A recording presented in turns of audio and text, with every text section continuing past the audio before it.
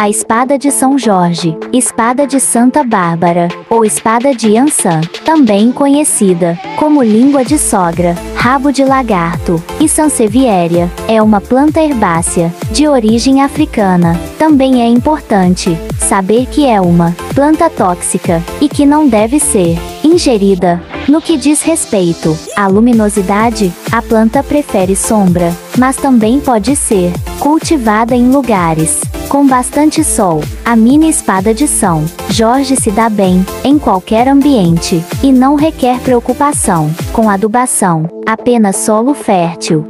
Não que ela não goste de luz, ela gosta, mas é uma das poucas espécies que resistem bravamente, inclusive, à falta de luz. Explicam, e nem precisa regar muito, uma vez a cada 10 dias, durante os meses de inverno, está ótimo. No verão, colocar água uma vez por semana. A adubação deve ser feita uma vez ao ano para reposição dos nutrientes. Inclusive, aqui vai uma dica para plantar espada de São Jorge. Dê preferência aos adubos granulados e, principalmente, NPK 101010, deixando o substrato úmido quando for colocá-lo na terra. Obrigado por assistir.